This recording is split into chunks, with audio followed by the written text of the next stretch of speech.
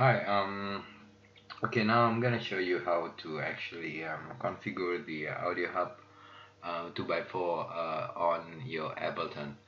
Uh, on Macintosh you can do straight away without installing any driver but apparently on uh, Windows you need to install the driver which on my previous video. So um, right um, after you have uh, the on Windows 10 um, after you have the driver apparently um, you just need to open your Ableton okay? And then you go to your preference setting which I'm gonna show you in a while. Uh, here um, in Mac I think is uh, in option. Is in file but in PC is in preference here. You go to audio okay um, by default uh, it will depend on what kind of audio you use like uh, for example uh, I was with um, uh, my uh, built-in sound driver. And um, what you want to choose is you want to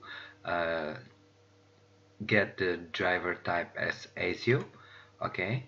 And then you want to choose your audio hub okay?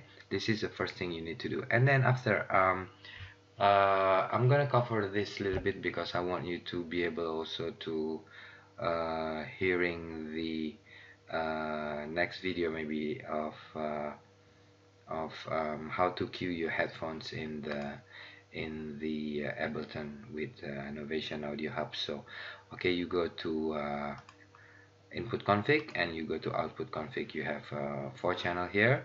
Okay so this is what you can do. I think it's this right for the moment. So um, what you can do after just configure your uh, cue out and your master out from your Ableton master channel. So um, that's it for the moment. So I think this is quite easy and um, see you guys soon